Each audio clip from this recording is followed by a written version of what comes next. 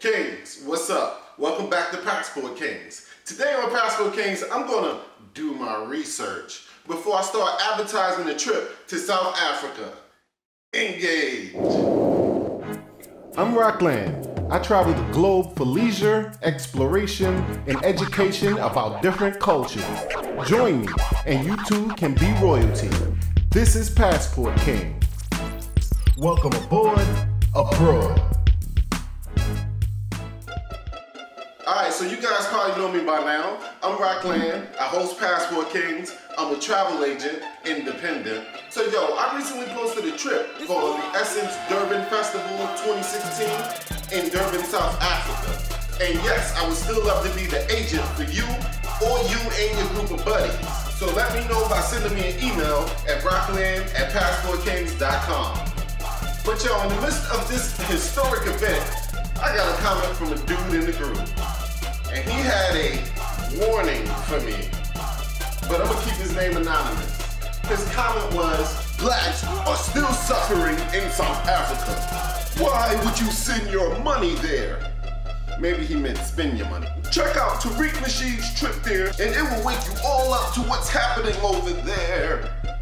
they don't even want black girls to have afros. There's a big thing about it right now.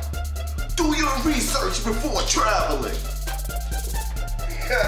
Dude, to me that sounds like the same illogical travel fears that so many black people have. And that's why I always talk about it, make fun of it, but just try to walk you through it.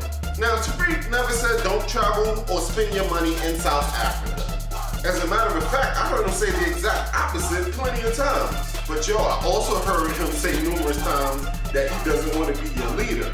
But if you must make him your leader, at least quote the dude correctly.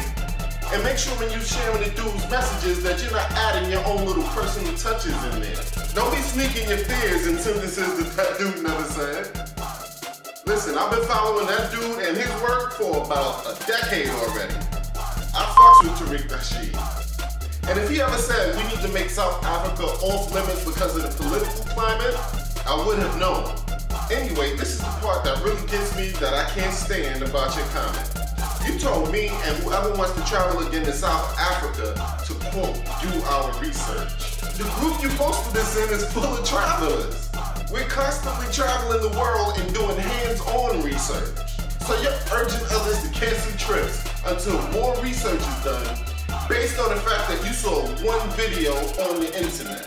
Yo, many people in this group has already physically been to Africa and many other countries in this world numerous times. But to entertain your concerns, here is my research. And being that many other people use Google every time they're telling somebody else that they need to do their research, I'll use Google for this too. Durban, a coastal city in eastern South Africa's KwaZulu-Natal province, is known for its African, Indian, and colonial influences. Durban's infrastructure got all updated for soccer's 2010 World Cup. The seafront promenade starts at Ushaka Marine World, a huge theme park with an aquarium, and ends by the futuristic Moses Mabhida Stadium. Durban is a city with strong Indian influence. In fact, it has a greater Indian population than any other place outside of India. There are 11 official languages of South Africa, including English. Fewer than 2% of South Africans speak a language other than an official one. Recent industrialization and urbanization have taken their toll on the South African environment. As such, agricultural practices as veld fires, overgrazing of livestock, and intensive use of pesticides soil erosion and desertification are two more significant environmental issues in South Africa.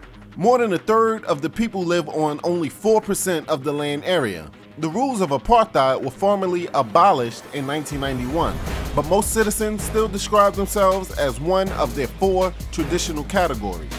Approximately 80% of the population claim to be Christian, with the largest group of Christian churches linked to the African independent churches.